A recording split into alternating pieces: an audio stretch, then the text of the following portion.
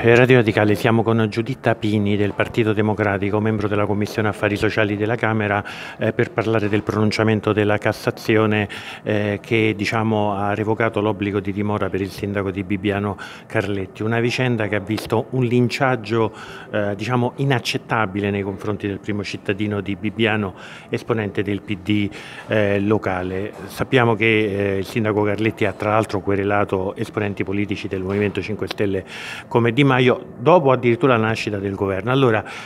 che valutazione possiamo fare su questa vicenda che vi ha toccato e soprattutto che è stato oggetto di una campagna contro di voi? Ma è l'ennesima appunto riprova di come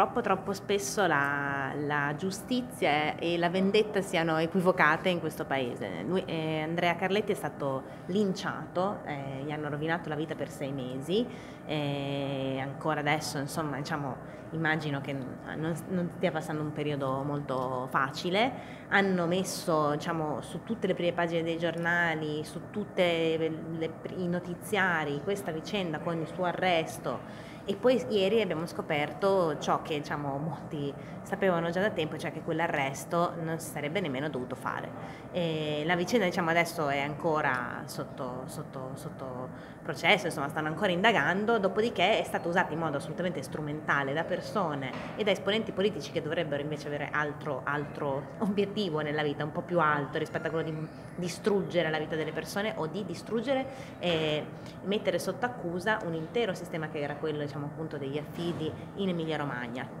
cui, su cui la Regione ha fatto un'indagine conoscitiva, c'è stata una commissione che anche, diciamo, ha portato anche a dei risultati e che diciamo, non meritava e non merita tuttora eh, di essere trattata in questo modo. Se ci sono stati dei problemi ovviamente diciamo, ci sarà sia la magistratura che insomma, si, guard- si guarderà, ma quello che è successo in questi mesi è una cosa che sicuramente speriamo non accada mai più a nessuno di nessuno schieramento politico perché nessuno merita un trattamento come quello che ha avuto Andrea Carletti. Eh, il segretario del PD Zingaretti è stato molto duro su questa eh, vicenda, volevo sapere anche se diciamo, questo caso ha un po' condizionato i vostri rapporti all'interno della commissione che è una commissione che tratta proprio di questi temi che è la commissione affari sociali.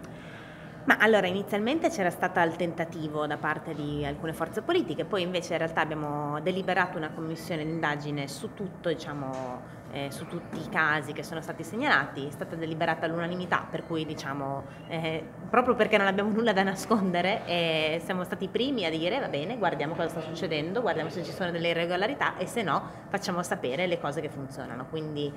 inizialmente si è tentato, ma più fuori dal Parlamento che dentro, perché ovviamente diciamo, chiunque si occupi di queste materie sa che era una cosa abbastanza vergognosa quello che dicevano nei talk show e sui giornali ed era irripetibile, infatti non lo ripetevano dentro le aule eh, parlamentari. Senta, adesso oggi siete voi a dire parlateci di Bibbiano. Ma sì, più che diciamo, di Bibbiano, che è una comunità che forse in questo momento avrebbe bisogno di essere lasciata da sola, sarebbe interessante capire chi ha spalato tutto questo quantitativo di fango eh, nei confronti eh, della comunità di Bibbiano, del sindaco e del Partito Democratico, se ha il coraggio e l'umiltà di chiedere scusa e di ammettere che aveva preso un'enorme cantonata e che forse appunto è il caso di tornare indietro e chiedere scusa. Io la ringrazio molto della sua disponibilità, ringrazio Giuditta Pini del Partito Democratico Modenese, Emiliana e membro della Commissione Affari Sociali della Camera.